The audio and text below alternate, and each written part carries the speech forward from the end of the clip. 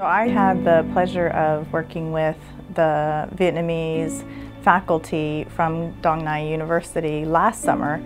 Um, four literacy faculty members collaborated on a month-long set of workshops and we each took a week and taught different aspects of literacy instruction that would be relevant for them in their own teaching of English in their particular courses and contexts at their university. Um, and the faculty taught all different subject areas. You know, some of them taught computers in English, some of them taught um, English vocabulary, some of them taught technical writing in English.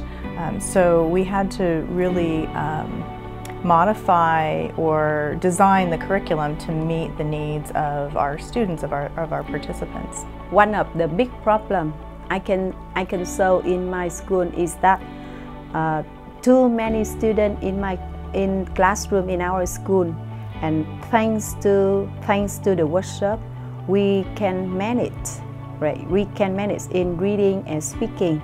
I enjoy your hospitality your friendship. It seems that i am living uh, in my family my friends. I know what administrators in vietnam need to improve.